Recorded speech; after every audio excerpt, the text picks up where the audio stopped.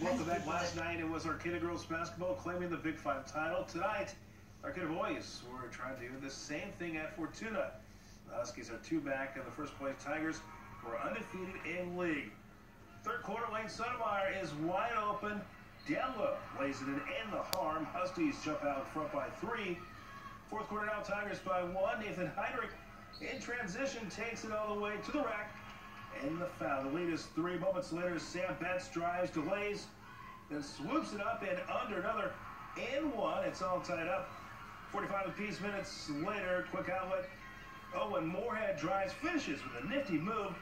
Big Five leaders are down two. Fortuna shuts the door. Betts kicks it out to Jared Hugh. He nails the three ball. Fortuna faithful going crazy tonight. They win and storm the court.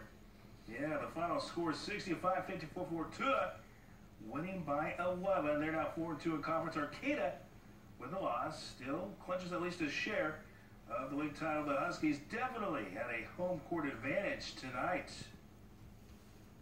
It was special. It was magnetic out there, and uh, um, I definitely think it played to our favor to have uh, such a great crowd and, and, very reminiscent of a couple years ago when the, you know the, the, the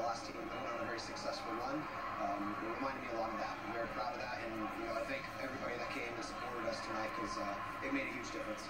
We really needed this win, and if we can win the rest of our games, whether to get a home Nikolai game, that'd be big for us to try to win the HN.